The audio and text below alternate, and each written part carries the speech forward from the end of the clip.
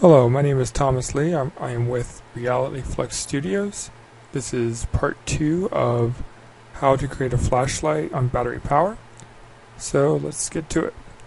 Okay, when I uh, leaving off from the last video, we just created the HUD that has a little bit of logic that if you have a flashlight, I'm going to get rid of that exclamation point.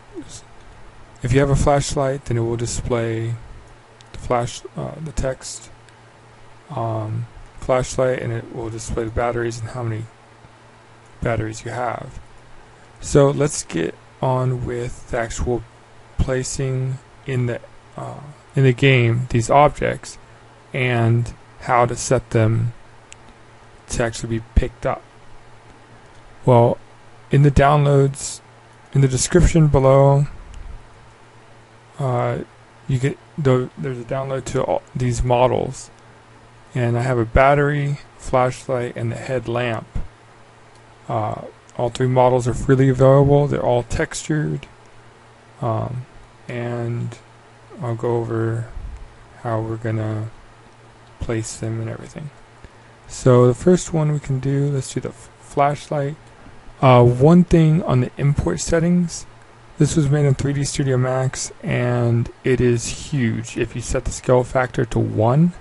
So just to save a headache, set it to 0.01 and then drag it from your project. And then let's see, we can I'm going to double click on it in the hierarchy. We'll zoom in and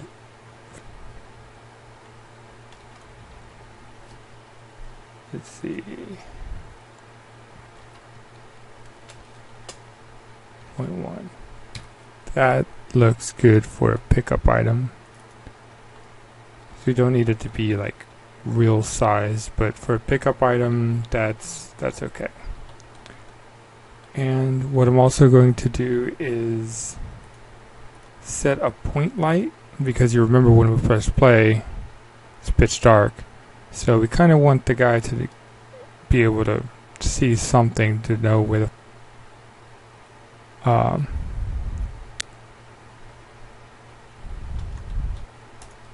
so we're going to give this some ambient light. So all we're going to do is take the flash. Oh, actually, before I do that, now that we have it at a good size, I'm just going to drag it down to my prefabs folder. So now, if by some chance this gets deleted from the hierarchy for some reason, you don't have to go through the scaling again. You can just drag it from here, and you can even have multiple flashlights on the scene. Um, just going to press delete to get rid of that. But what I want to do is, first of all, make this um, actually add a in the components menu, physics, and then a box collider and then check is trigger. I'm going to apply that to save it to the prefab. And I'm also going to drag the pickup script to it so it's there so we don't have to worry about forgetting to put that on later. And I'm also going to apply that so it saves it to the prefab. And then we can go on to the actual coding of pickup. So, pickup script is going to have what's called an, an enum, which is short for enumerator, which is basically a variable that holds a list of items that can be words, but all it all the compiler knows is numbers associated with those words. Just makes it really easy to give a person a choice of multiple things that can be described in words. Um, you'll you'll see what I mean here in a few moments. So we're going to say public enum. I'm going to call it item, and then it's just going to be flashlight and battery.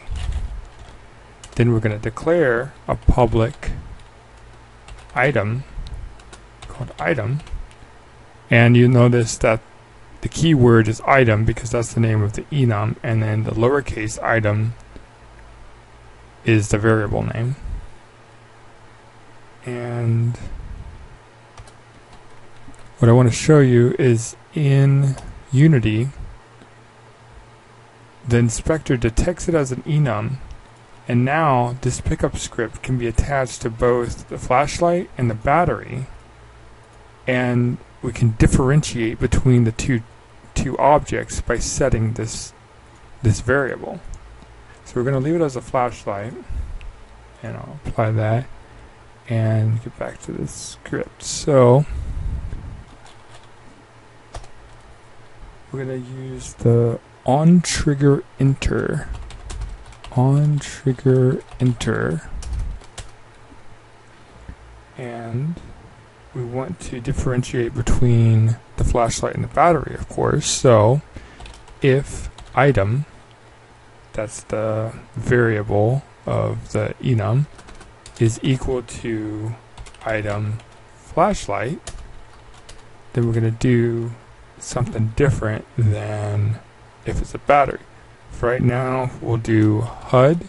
That's the other script. We're going to use the has flashlight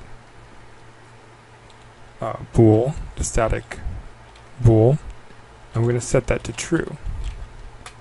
And if it's anything else, which the only other thing it can be is battery, we're going to say else HUD battery count plus plus. And the plus plus, all it does, and I'm going to use resharper and get rid of the braces because if an if or an else statement only has one line, you don't need the braces. And it's just for aesthetics for me. You can leave the braces, it doesn't do anything, doesn't make anything work differently. So the plus plus increments the battery count variable by 1. And then, of course, when it's picked up, we want to destroy game object, and the lowercase g in game object means itself, means the game object associated with what this script is attached to. Okay, and and that's it. So we should be able to play and walk over to this. And now you see the flashlight appears in the HUD because now we have it. And it just it disappeared from the uh, hierarchy view. Okay and I forgot to put that ambient light. So let's do that right now. Just highlight it. Game object other we're going to use a point light. And going to use the W, E, and R that's for position, rotation, and scale. I'm going to position it over really on the flashlight. I'm going to make the intensity kind of low. Let's see, five range. I'm gonna make it low just because you can see it now, even from far away. So it doesn't need that much light. But now you'll notice there's no flashlight text up here. Walk right over to it, and boom. Now it disappeared from the hierarchy, and we get the text there. In case you didn't notice that last time. Okay, so now we have this uh, the pickup of the flashlight working. So I'm going to stop right there and see you in the next one.